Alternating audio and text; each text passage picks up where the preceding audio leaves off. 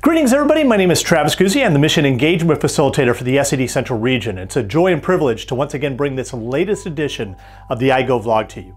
To empower you as everyday missionaries to connect with your neighbors in love and service in order to connect people to Jesus. Well, in this latest edition of the iGo vlog, we are celebrating Pentecost Sunday, that uh, celebration in the church year that we remember and we celebrate the birth of Christ Church here on earth. That day in which the disciples were waiting in the upper room for the gift that Jesus had promised, the gift of the Holy Spirit that would empower them for the mission that He had called them to go and make disciples of all nations, to be His witnesses in Jerusalem, Judea, Samaria, and to the very ends of the earth. And there they were in that upper room, and suddenly they, they, they hear the sound of a violent wind as they're praying, and tongues of fire come and, and set above their heads.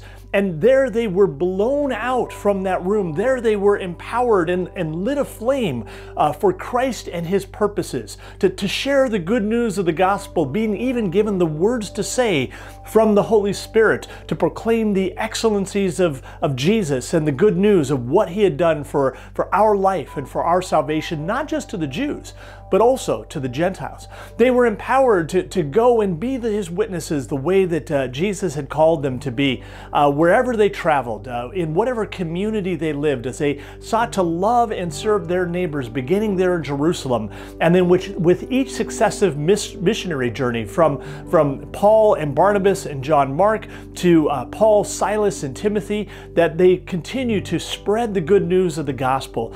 And there we saw more and more churches planted. And that good news, that wave of, of God's kingdom has come to us in our day and age, uh, us being the ends of the earth. And the good news that we celebrate at Pentecost is this that we, as His followers, have been given the same Holy Spirit.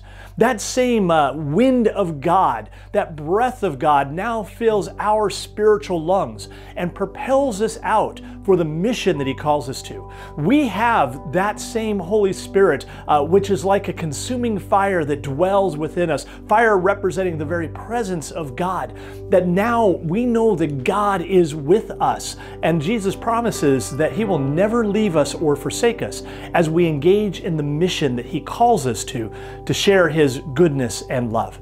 And so, brothers and sisters, I want to encourage you this day. Don't be timid. Don't be afraid. You have Pentecost power that has been given to you. That same spirit given to the apostles and the disciples long ago is the same spirit that resides in you.